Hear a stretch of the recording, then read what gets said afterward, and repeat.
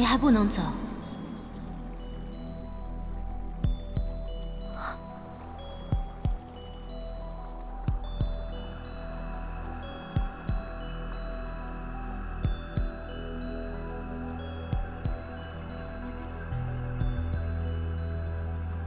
请你再留一会儿吧。你是谁？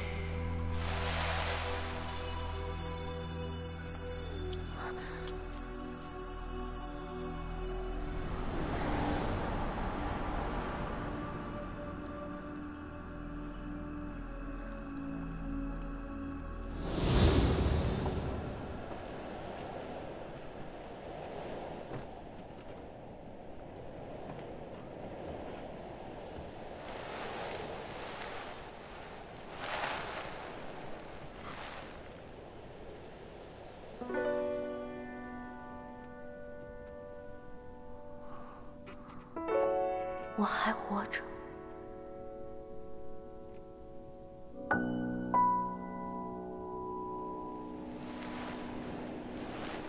原来是风吹灭的。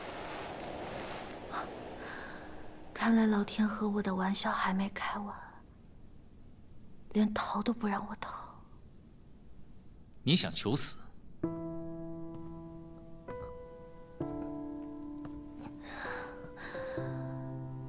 我这身子生死无疑，这副躯体如今于我已是牢笼了长夜。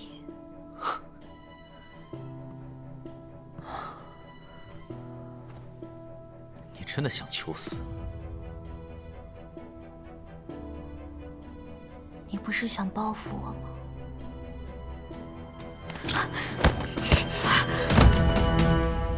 清河。你凭什么了结自己的性命？谁给你的胆子？长夜，那日崖上的寒风不够冷是吗？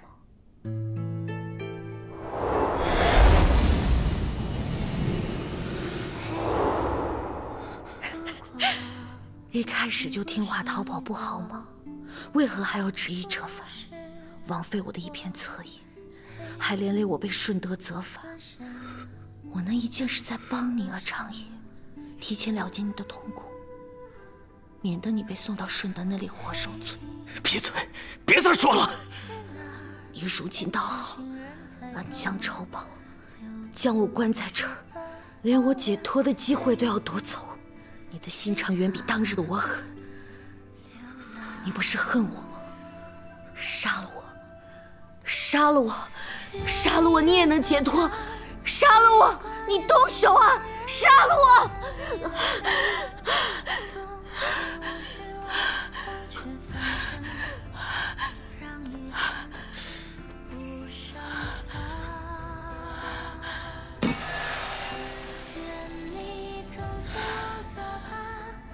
你说的没错，我不会让你死的，我会让你求死不得。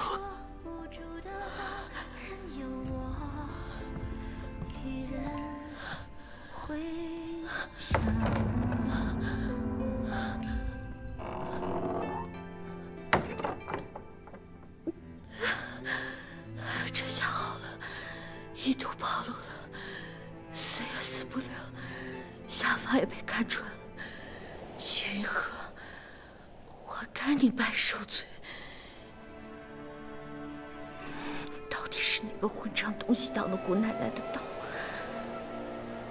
找你算账！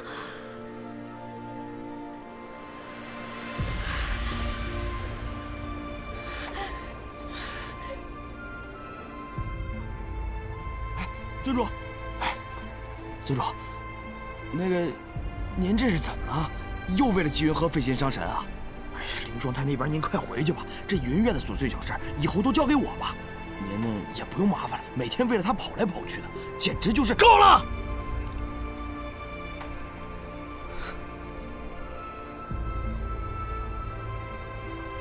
秦河，哪怕死，你不肯留在我的身边吗？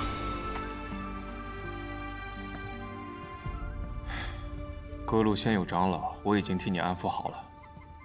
他们都以为你是身体突发不适才会离开的，事情也算平息过去了。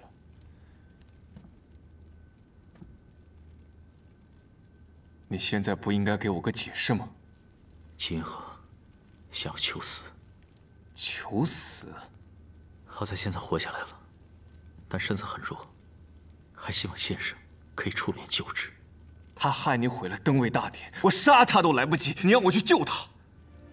先生，求你了。今日登位大典，你擅自离开，有损北渊尊主的权威，更是愧对于狐族。那青瑶少主，可是对你一片赤诚啊！我答应你，可以去给纪云鹤看看。但是我希望你可以亲自出面，去给大家一个交代。好。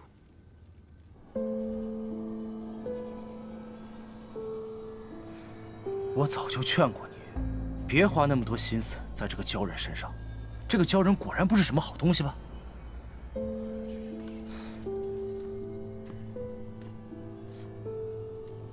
你还敢来？青瑶他那么信任你，你却当着整个北渊的面。把他一个人丢在大殿上，自己跑了，你好意思当这北渊尊主吗？啊！你以为不说话就算完了？表哥，这件事就让我自己来处理吧，你们先回去吧。行，走，我们走。走吧。尊主，今日到底是怎么回事？今日是我做的不妥。让你和各位仙友为难了，我深感抱歉。但登位大典，终究只是一个仪式。诸事北渊，自始至终，都不是靠繁文缛节。你和胡王的恩情，我不会忘。我向你保证，我，长意，定会护北渊，安定周全。尊主之诺一言九鼎，青瑶信你。更不愿你失信于北渊众仙。今日你离开大典去了云苑一事，我和空明先生已经替你隐瞒下来。但今日之事，不能就此算完。我不关心那个云苑里闹了什么动静，但纪云河如此扰你心神，你又当如何处置？他本就不属于北渊，留在此处也并非自愿，是我无畏，自寻烦恼。又怎么能谈得上处置呢？若有过，也是我之过。要处置，就处置我吧。青瑶并不是想追究今日是谁之过，我只是想问尊主，日后想要如何待他。尊主既知道他不属于北渊，为何就是不肯放手？你如今是北渊尊主，就不该再被他左右。让我放手。难道就是少主推我登位的目的吗？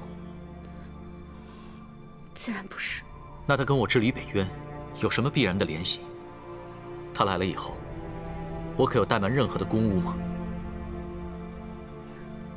没有。从今天开始，我会好好的看着他，不会让他闹出一点动静的。你想做的，我不会为难你，也不会强逼你。我希望的。只是你好，北渊好。